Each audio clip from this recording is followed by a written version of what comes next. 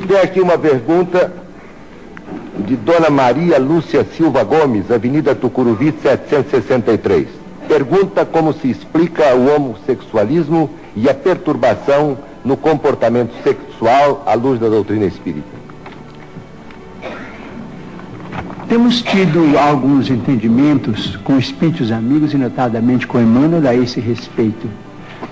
O homossexualismo, tanto quanto a bissexualidade ou bissexualismo, como, tanto como a sexualidade, são condições da alma humana, são, não devem ser interpretados como fenômenos espantosos, como fenômenos atacáveis pelo ridículo da humanidade. Tanto quanto acontece com a maioria que desfruta de uma sexualidade dita normal, aqueles que são portadores de sentimentos de homossexualidade ou bissexualidade são dignos do nosso maior respeito. E acreditamos que o comportamento sexual na humanidade sofrerá de futuro revisões muito grandes, porque nós vamos catalogar, do ponto de vista de ciência, todos aqueles que podem cooperar na procriação e todos aqueles que estão numa condição de esterilidade. A criatura humana não é só chamada à fecundidade física, mas também a fecundidade espiritual. Quando geramos filhos através da sexualidade dita normal, somos chamados também à fecundidade espiritual, transmitindo aos nossos filhos os valores do espírito de que sejamos portadores.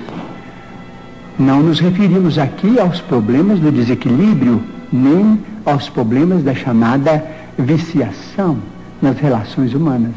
Estamos nos referindo a condições da personalidade humana reencarnada, a, vamos dizer, muitas vezes portadora de conflitos que dizem respeito, seja a sua condição de alma em prova ou a sua condição de criatura em tarefa específica.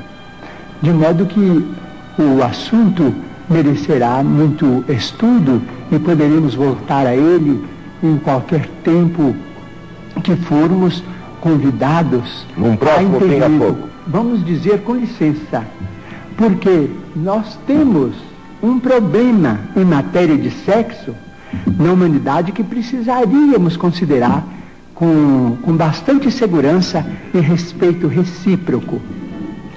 Vamos dizer se as potências do homem na visão, na audição, nos recursos imensos do cérebro, vamos dizer, nos recursos gustativos, nas mãos, na tactilidade com que as mãos executam trabalhos manuais, nos pés, se todas essas potências foram dadas ao homem para a educação, para o rendimento no bem, isto é, potências consagradas ao bem e à luz, em nome de Deus, seria o sexo, em suas várias manifestações, sentenciado às trevas?